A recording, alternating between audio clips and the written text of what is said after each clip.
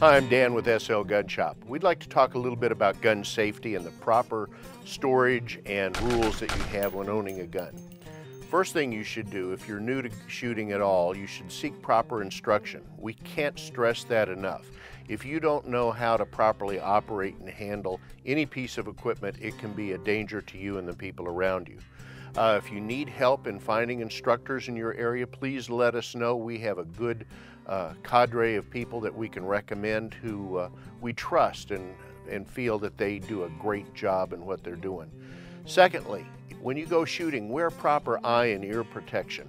Firearms are dangerous devices and they have a lot of moving parts. A lot of things can happen in a firearm, uh, expelling hot gases, pieces of metal, and sometimes those can go to the back.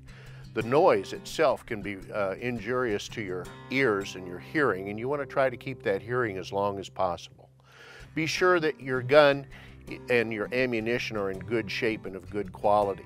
You don't want to go out there with rusty ammo or dirty guns or things. Carry only uh, one gauge or type of ammunition at a time with your gun that you're shooting. One of the dangerous things you can do is load the wrong ammunition into a gun. It's either going to drop through the barrel or jam the gun because it's too big, or it could be uh, the type of ammo that would fit in the gun but not conducive to shooting in that gun and could cause a lot of problems. Be sure of your target. When you do go shooting, make sure that you know what's behind the target. Not only what you're shooting at, but what's behind it. Don't uh, just put a target on a tree and then uh, not look beyond that tree. There may be houses or buildings or other things or animals back there and you want to make sure you know what you're doing. Another big important one is don't mix alcohol and shooting together. Alcohol or any altering drug uh, can just cause all sorts of issues.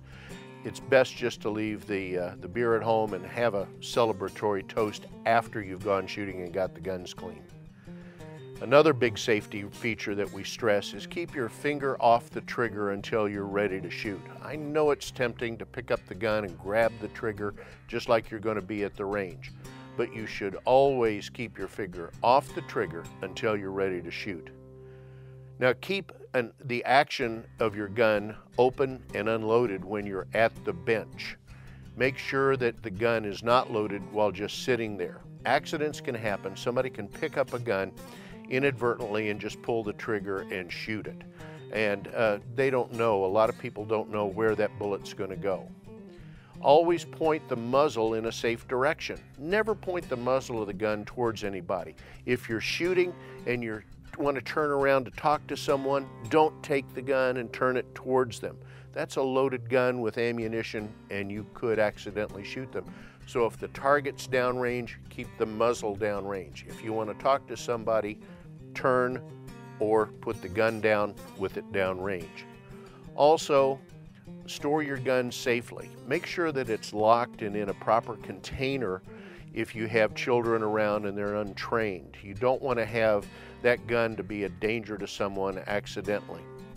Now at SL Gun Shop, we have partnered with the New Hampshire Safety Coalition, and what we're doing is providing a pamphlet, which is the gun safety rules.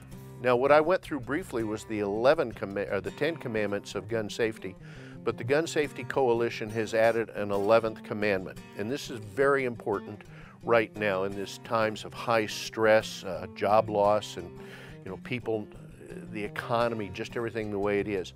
If you feel that somebody is a danger to themselves and they have firearms or you have firearms, perhaps you should store those away somewhere else.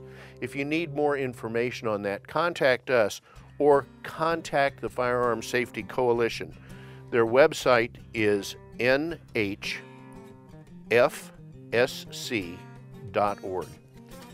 Thanks for coming and thanks for watching. If you need any more information, give us a call at 603 878 2854 or find us on the web at slgunshop.com.